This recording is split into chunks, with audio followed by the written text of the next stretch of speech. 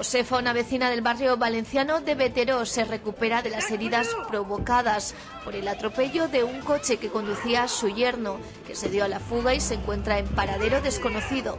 Pues cuando me da el golpe ni me di cuenta, porque cuando me da el golpe me quedo en el suelo y él se va.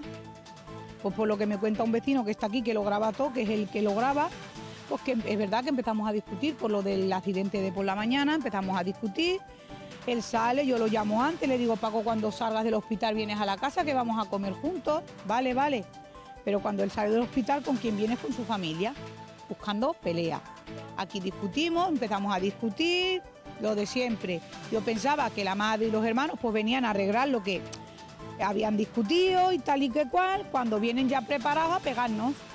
Claro, en esa discusión pues cada vez va un poquito más y me pega, cuando se sube a la furgoneta y me pega el tamponazo, yo creo que se sube a la furgoneta para marcharse. ¿Qué coge? Se monta en el coche, da dos vueltas a la rotonda y me pegó el tamponazo. Me podía haber matado porque lo estoy contando de puro milagro. Los hechos tuvieron lugar este lunes por la noche tras una disputa familiar que se produjo en la calle.